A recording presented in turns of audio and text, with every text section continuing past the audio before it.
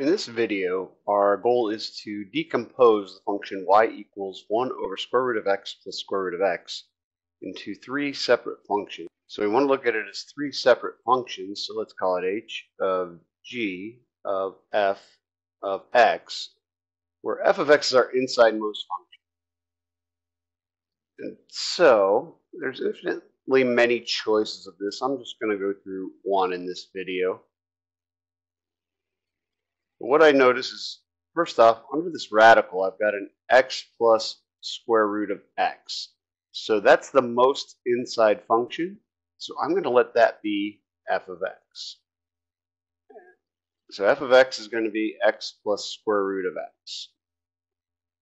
What's happening to that x plus square root of x? Well, it's being square rooted.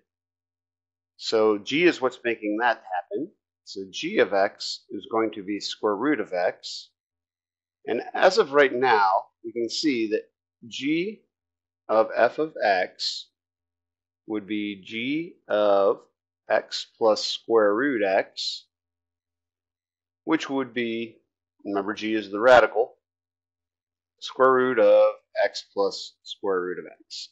So that checks out for those two. And then what's happening last is this thing is getting reciprocated. So we're going to have h of x be the function that does that, which would be 1 over x. So now when I plug this into h of x, let's see what we get. h of square root of x plus 1 square root of x. h says we take 1 over whatever the input is. So there's our 1 over square root of x plus rad x. And we've got our function.